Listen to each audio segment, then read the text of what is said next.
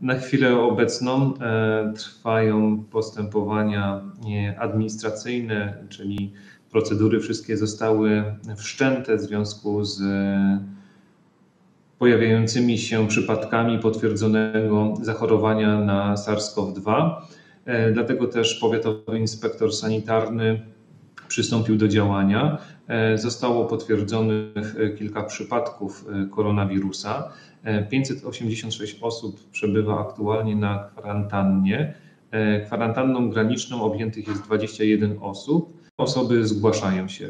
Trwają wywiady epidemiologiczne z osobami, które miały bezpośredni lub potencjalny kontakt z osobami, które zostały zarażone, czyli osoby, które mają potwierdzony przypadek koronawirusa.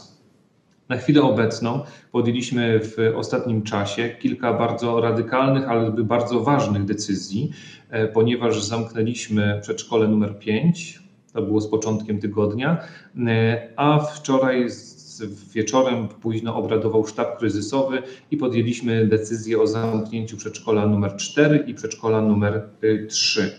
Dodatkowo została zwiększona liczba oddziałów, które będą przez najbliższy czas, czyli dzisiaj i w poniedziałek, a zobaczymy jak dalej sytuacja epidemiologiczna na naszym terenie się rozwinie, będą odbywały naukę w trybie zdalnym. Dodatkowo jeden oddział liceum ogólnokształcącego również odbywa tę naukę w trybie zdalnym. Powiem, że sytuacja jest opanowana. Bardzo się cieszę, że wszystkie procedury zadziałały.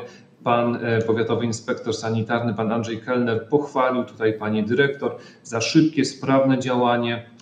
Wczoraj wieczorem, kiedy obradował sztab kryzysowy, również została podjęta decyzja o zamknięciu placówek. Panie dyrektor od razu przystąpiły do działania, poinformowały rodziców. Też bardzo się cieszę, że mieszkańcy ze zrozumieniem przyjęli tę decyzję, że przyjęli tę wiadomość, organizują opiekę dla tych dzieci najmłodszych. Wiem, że to jest trudne i za co przepraszam, ale musiały zostać podjęte takie działania, aby te ogniska koronawirusa nie rozprzestrzeniały się, ale żeby je w tym punkcie właśnie, gdzie się pojawiły, unicestwić. Dlatego też przystąpiliśmy do działań mających na celu dezynfekcję tych pomieszczeń. W dniu dzisiejszym zostały zdezynfekowane wszystkie trzy przedszkola zamknięte, czyli przedszkole 3, 4 i 5.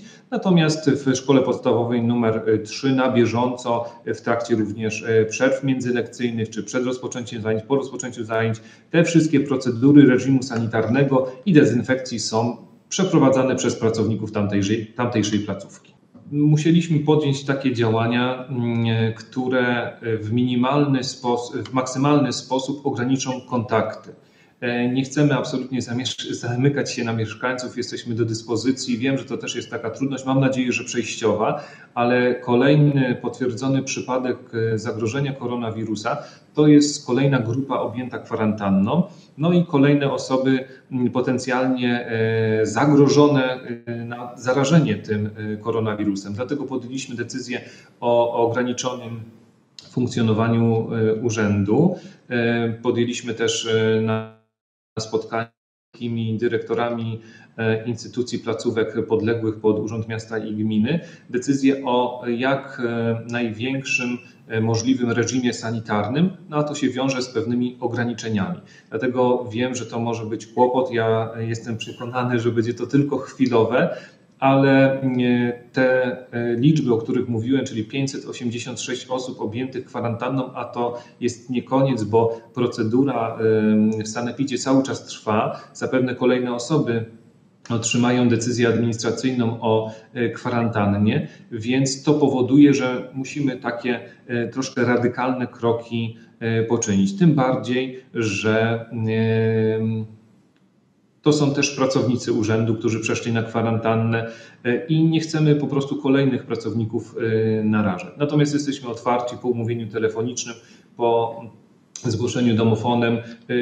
Urząd pracuje, funkcjonuje normalnie, w tym bez tego przyjęcia takiego bezpośredniego otwartości na klienta. Natomiast sytuacja jest opanowana. Mm, to jest kilka, kilka przypadków, nad którym, które są zdiagnozowane. Ogniska zostały zlokalizowane.